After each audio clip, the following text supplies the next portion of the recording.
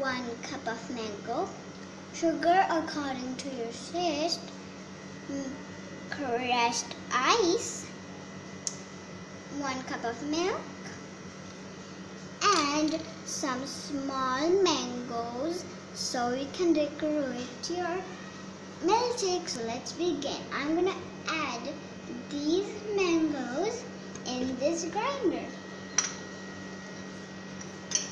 Let's add it in.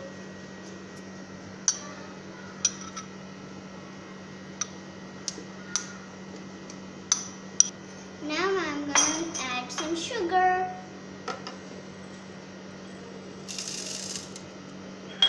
Now milk.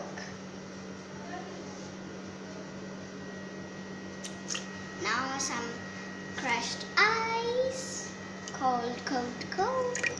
So now let's grind it.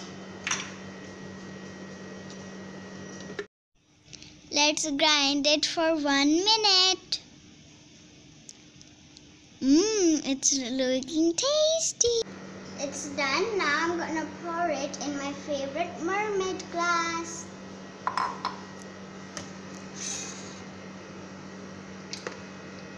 Now let's add our decoration.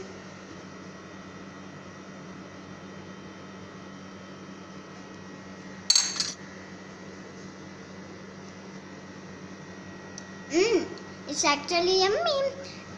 Thank you for watching. Bye.